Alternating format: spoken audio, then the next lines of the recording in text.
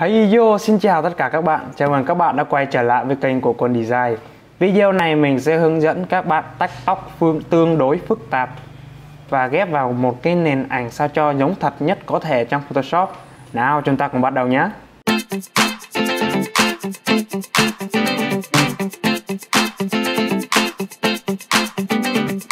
Thì mình sẽ có một cái hàng mẫu cho các bạn. Đây ví dụ như đây là hình một cô gái có tóc nó rất là chi chít như thế này. Bây giờ thì mình muốn tách cái nền này ra, để mình lấy cô gái xong rồi mình ghép vô cái nền này thì thành quả nó sẽ ra được như thế này. Rồi thì chúng ta làm như sau ha. Đầu tiên chúng ta sẽ vào hình cô gái, chúng ta sẽ bật Photoshop lên.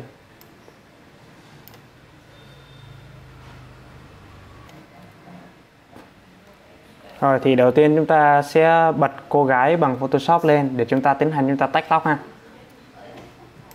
Chúng ta chúng ta thấy nè, ở đây thì tóc nó rất là chẳng chịt chi chít ở trên cái nền này thì chúng ta tách ấy, thì chúng ta tất nhiên chúng ta sẽ không thể sử dụng cái công cụ Quick Selection được. Vì khi chúng ta chọn nó chúng ta thấy đấy những cái vùng chọn này của chúng ta này nó không có được chọn kỹ những cái phần tơ tóc này nó sẽ không được chọn cho nên khi mà chúng ta tách ấy, thì nó sẽ không clear hết được đi. Cho nên chúng ta sẽ dùng cái kênh, một kênh đó là kênh channel. Đây, kênh channel nó sẽ có bốn cái hàng này đây các bạn. Rồi các bạn sẽ tắt hết ba con mắt trên đầu cho mình. Chúng ta sẽ để lại con mắt blue là con mắt cuối cùng thôi. Chúng ta sẽ duplicate cái layer này lên. Rồi, bây giờ thì chúng ta sẽ bấm Ctrl L. Nó sẽ ra một cái bảng level này cho chúng ta bây giờ thì ở dưới đây nó có những cái thanh chỉnh thông số. Thì chúng ta chỉnh ha. Đây, khi chúng ta mà kéo lên thì nó sẽ đen trở lại.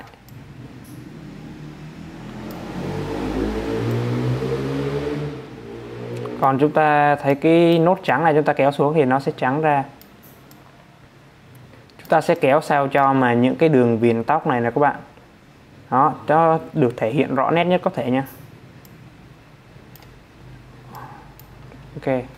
Thì mục đích để làm gì là khi mà chúng ta làm cho nó đen hình như vậy nó sẽ gây ra một cái độ tương phản với nền.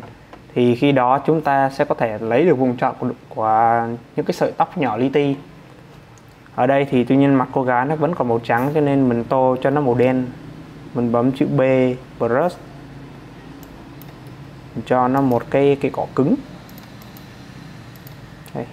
rồi mình tô màu đen tô khuôn mặt màu đen hết.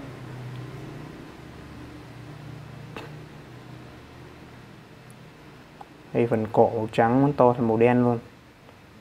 Mình chỉ trừ những cái phần trắng của tóc nha, còn lại một khuôn mặt mình tô đen, màu đen hết các bạn. Rồi, bây giờ thì chúng ta đã có một cái phần tóc nó màu đen, nó tương phản với cái màu nền rồi. Thì bước tiếp theo chúng ta sẽ bấm chúng ta sẽ re con chuột vào cái layer blue copy này. Chúng ta sẽ bấm Ctrl click vào để chúng ta lấy được cái vùng chọn nó. Chúng ta Ctrl Shift Y để đảo ngược cái vùng chọn lại. Rồi, sau đó thì các bạn sẽ bật hết những cái mắt layer này lên và chúng ta tắt cái mắt của layer cuối. Thì đấy, thì với những cái thao tác như vậy thì chúng ta sẽ lấy được những cái vùng chọn ở tóc nhỏ li ti. Thấy các bạn thấy không? Rồi, sau đó chúng ta sẽ quay lại cái kênh layer chính rồi, bây giờ thì chúng ta sẽ thử tách nhé mình sẽ cho nó một cái lớp mask. Đấy, như các bạn thấy.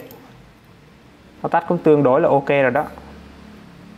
Những cái sợi tóc nhỏ li ti nó được tách hết nè. Nếu mà chúng ta sử dụng quick selection tool thì nó sẽ không chọn được cái những cái chi tiết như vậy.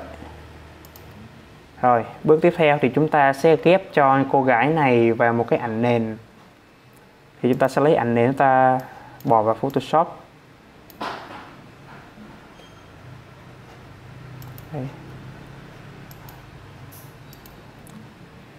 Đây mình tăng độ phân giải của ảnh này lên ảnh này độ phân giải nó kém quá vào image size chúng ta sẽ tăng độ phân giải resolution cho nó lên 700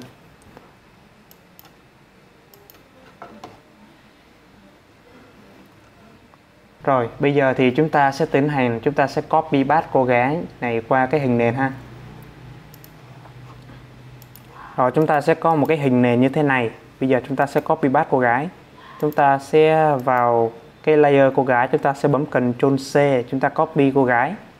Rồi chúng ta sẽ qua cái background, chúng ta sẽ bấm cần Ctrl V để chúng ta bắt cô gái qua.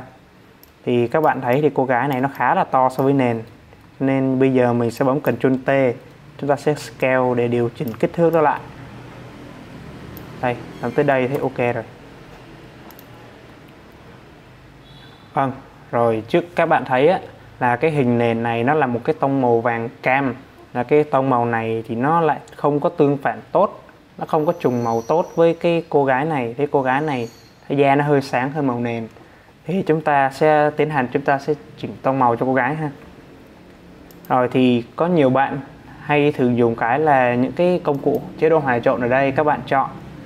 Tuy nhiên là các bạn thấy chúc các bạn chọn công cụ hòa trộn á thì nó sẽ bị chìm chìm cái màu cho với hình nền. Chúng ta thấy thấy nó xuyên suốt luôn.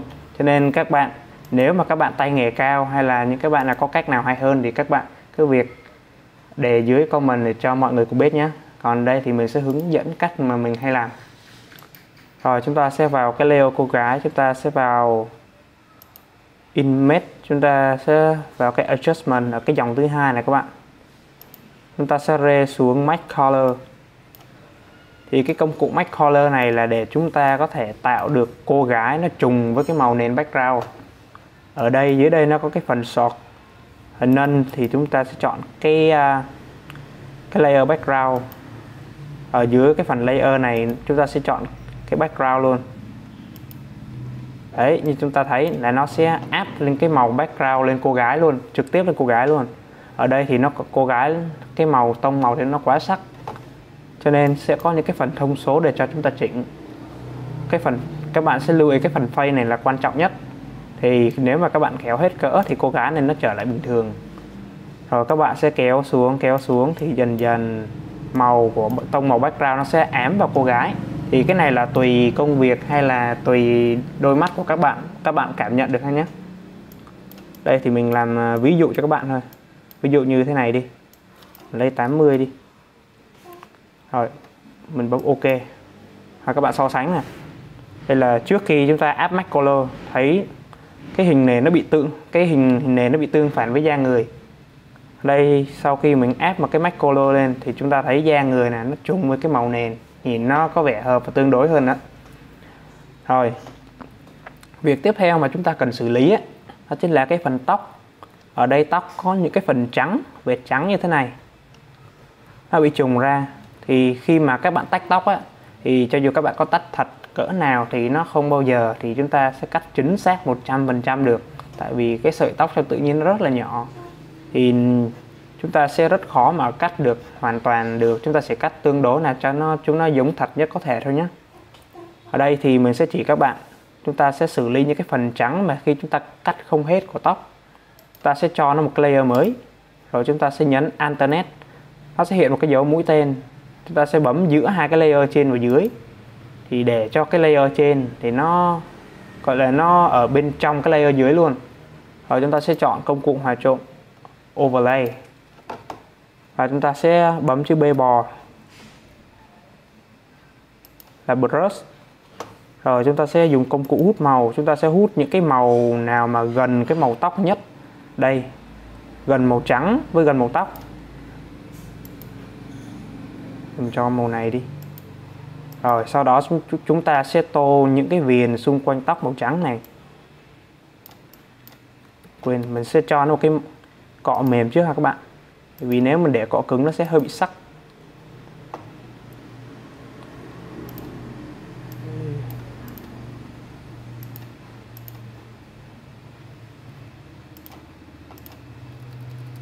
Rồi, bây giờ thì mình sẽ tiến hành, mình sẽ tô những cái phần trắng.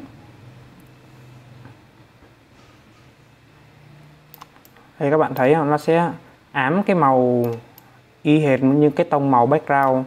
Nó sẽ làm mất cái màu trắng của tóc mà cách chúng ta cắt thừa đi.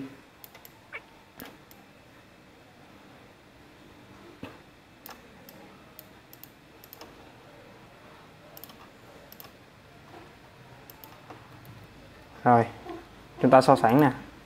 Đó, đây là trước khi chúng ta sẽ tô cái xử lý cái phần màu trắng của tóc và sau khi chúng ta xử lý nó sẽ như thế này rồi. Thì bây giờ đây là sẽ là thành quả cuối cùng của các bạn. Thì các bạn thấy đầu tiên chúng ta sẽ có một cái cô gái tắt như thế này và chúng ta sẽ ghép qua một cái màu nền và chúng ta sẽ cho cái màu nền nó cùng tông màu với cô gái. Thì đây sẽ là kết quả cuối cùng của chúng ta. Rồi hy vọng thì bài chia sẻ của mình sẽ giúp ích cho công việc của các bạn. Hãy chia sẻ đến bạn bè để cùng học tập nhé. Và đừng quên like, subscribe và nhấn chuông thông báo để không bỏ lỡ bất kỳ video nào chia sẻ đến các bạn nhé. Còn bây giờ thì ngồi xuống và thiết kế đi.